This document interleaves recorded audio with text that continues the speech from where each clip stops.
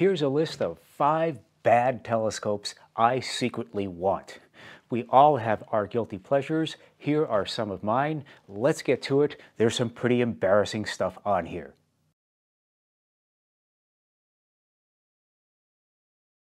Yes, it's the Meade Starfinder 16-inch Dobsonian, the equatorial version. I had a review of the Dobsonian version, Tubby or the Widowmaker. It was this promise that you could have this big aperture scope for not spending a lot of money, and they weren't very good. And right now, they sold a lot of those things, and they're just sitting around in people's basements with the significant others begging the person, please get rid of this. But even more ridiculous than the Dobsonian version was this equatorial monster that you just couldn't use. It was ridiculous. One person I know who owns one of these things says it is 247 pounds worth of bad cardboard. And in the early versions, around 1992, there was even a version that didn't have tube rings on it. Picture the amount of stress on those bolts screwed into sonotube. Those of you who follow me here know that I am often praising the previous generation, that is the research grade Newtonians, which I think are not only some of the best reflectors ever made, they are also among the most beautiful and they are gorgeous pieces of industrial design. But even the regular models, the 628, the 826, the 645 and all of their variations are very desirable as well today. There's an 826 back there, and over here, here's the model 591. That is the student version of the number 628. They went from first to worst. Do not buy Starfinder reflectors. I don't know, what the equatorial versions I think are worse than the Dobsonians, but the Dobsonians are nothing to write home about. When they came out with these, I continued to buy them and I'm not really sure why. I think it was inertia. I just liked the previous versions so well, I just assumed the new ones would be good. Also in the category of don't buy are the DS10 and the DS16. Those were really cheap as well. And yet, I want one of these. it's so unwieldy and so impractical and so ridiculous, it actually takes on a kind of charm of its own.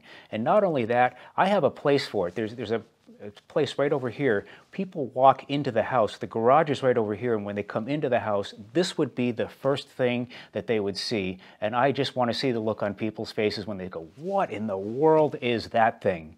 And I know they're also going to ask me, can we look through it? And the answer is going to be, uh, no, I'm not moving that.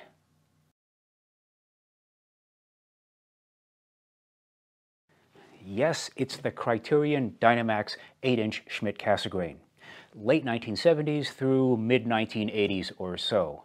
You know, it was an exciting time to be a Schmidt-Cassegrain buyer. Celestron had always been around with the C8, and then Meade came in and just blew up the whole market with the Meade 2080, and they took off from there with all of the variants that were just better and better and better as years went on the criterions just kind of hung in there because for a long time before Meade came along, it was just an alternate, someone who just didn't want a Celestron for some reason. It was just hanging around.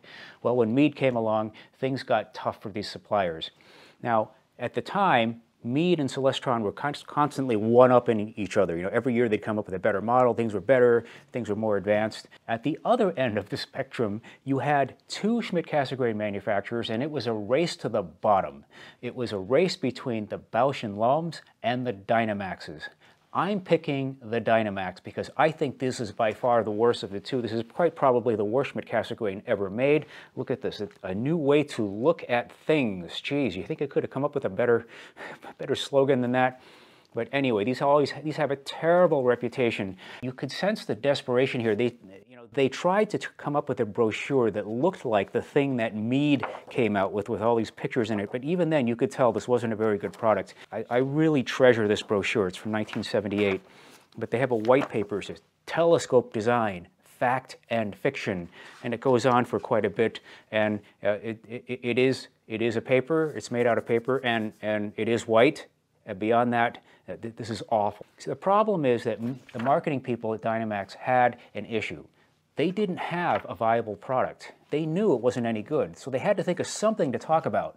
So for the first two and a half pages of this brochure, they brag about the Bakelite tube. Then for the next page and a half, they brag about the tripod. I'm getting the impression that what I'm buying is a Bakelite tube and a tripod with some telescope optics in it. It's never going to look better than it does in the brochure, right? But even here, you can see it's ugly. I want one of these things. I'd like to do a review of one of these. Some of these have come along from time to time. People have offered to give them to me, but generally I run into two problems here. Either someone has left it in the basement for the past 45 years and it's just not usable anymore, or you get somebody really ambitious who has just upgraded the whole thing. I know people who have completely rebuilt the focuser. I know people who have refigured the mirrors, and now the thing, well, it's better than new. Well, that's not what I want. I'd like to see a pristine condition, one of these, in original form and test it today. Uh, I have a feeling it's going to be pretty bad, but yes, I want one of these.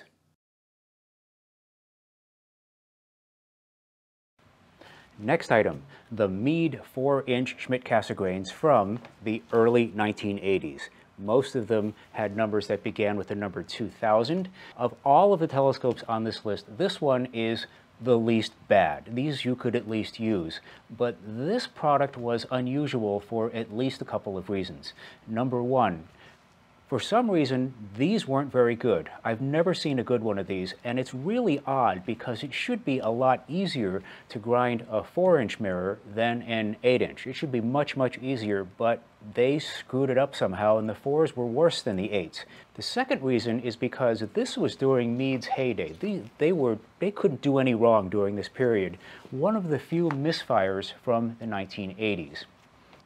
Meade found out the same thing that Celestron did it costs almost as much to make a smaller Schmidt Cassegrain than it does a larger Schmidt Cassegrain. Your fixed costs are the same. The factory is the same cost, the factory workers are the same cost. It doesn't cost you any less to advertise a 4 or 5 inch Schmidt Cassegrain than an 8 inch. So by the time they add it all up, the prices just kept creeping up. And Celestron, if you notice, their C5s were almost the price of the C8s, and the 4 inch Schmidt Cassegrains here were almost the price of the 8 inchers. For some reason, the C5 has persevered, the 4-inch Schmidt Cassegrains have not. Adding to the confusion was that there were just too many models. At the low end, there were two that were 1000 series models. They were spotting scopes or they were telephoto lenses. Once you get to the 2000 series, those are the ones meant for astronomy, there were just too many of them. There were 2040, 2040A, 2045. Some of the later ones had the suffix D on them, indicating that they had a DC power supply that could work on the clock drive. Ah, you know what? I want one. The marketing, as always with Meade, very, very good. Ready to go with you at a moment's notice. Study land, sea, and sky. I can still quote these lines 40 years later. And another thing, they advertise these telescopes as things that you could just drive out to the middle of nowhere and start using. They would be these ultra portable observatories. But until the very end, all of these were powered by AC clock drives. This was the 1980s, and they didn't have all those alternative power sources that they do now and portable power sources. So you'd get out there and you'd have to plug the thing in. So if you do collect these, I highly recommend the last model that they made, the 2045D, which operates off of a DC power supply. At least the thing is usable. And yes, I want one of these.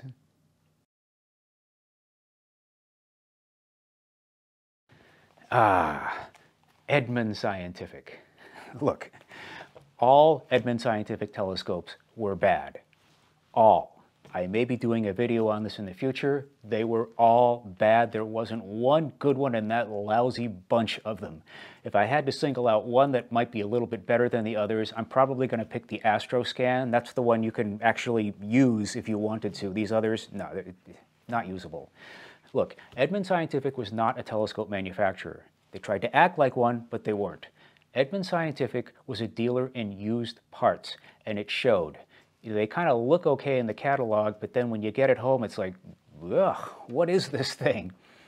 You know, I've told the story before, but I, for years, lusted after that 4-inch f10 red Newtonian because of that picture in the catalog. I just wanted to be those kids. They look like they're having so much fun. Now, at this point, I had already sworn that I would never buy another Edmund Scientific telescope again as long as I lived. I've gone back on that promise twice now, and I've regretted it both times. I got that 4 inch f10 thing, and I couldn't believe how bad that thing was. The mount was unusable. It, it looks like an equatorial pedestal mount that you might get from Meade, but it just doesn't work. Now, the, the, there weren't even tube rings on it. there were these pallet straps that went around in this Victorian corset arrangement, and the, the lock axes on it were just awful. No matter what you did, they were either too tight or they were too loose. And even if you tightened the thing for display, eventually it would loosen up over time and the thing would just flop over and crash to the ground. I mean, I, I don't know what I was thinking. The secondary mirror wasn't even an ellipse. It was a rectangular thing bent on a piece of metal. If you measure the thing, most of them aren't even anywhere near 45 degrees. And looking at those, I'm always wondering if there were dentists in the 1970s near Barrington, New Jersey, who were missing some of their instruments.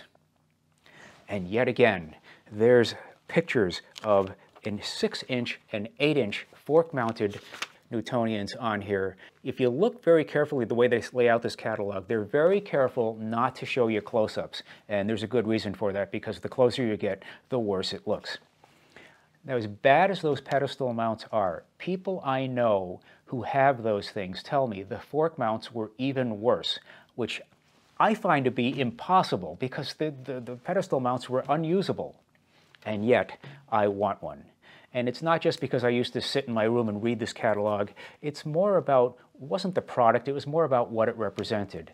I would just sit around and dream about, you know, I would take that 8-inch f5 telescope with me and just, it was more the idea of what it would show me and what it would teach me and, you know, the, the things that we would learn together. So yes, even after all this time, I'm probably going to go back on my word one more time. I'm probably going to get another Edmund Scientific Telescope.